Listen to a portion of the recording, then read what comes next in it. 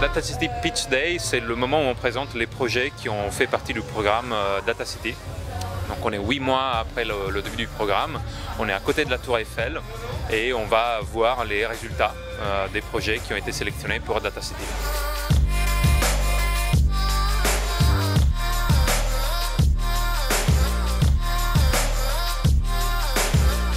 Nous avons participé à Data City parce qu'on l'a vu comme une énorme opportunité de pouvoir travailler sur les smart cities et justement tester les capacités, la capacité de notre technologie dans ce domaine-là et aussi de pouvoir travailler avec un ensemble de différents partenaires. Bah, ça a été une super expérience avec euh, des partenaires euh, à la fois institutionnels ou entreprises, la ville qui a été vraiment très moteur, le NUMAC qui a été euh, le moteur de la réalisation de ce programme et puis bien évidemment toute l'innovation et l'énergie amenée par les startups.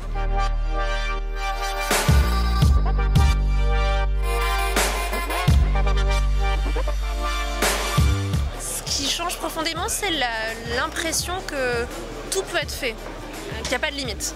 C'est pas juste de la méthodologie, c'est que faut juste avoir de l'énergie et de l'envie et puis on y arrivera. Data City, c'est un programme qui est euh, hyper important pour nous parce que euh, à la fois il met en scène toutes les communautés, les acteurs industriels, les startups avec euh, lesquels on bosse.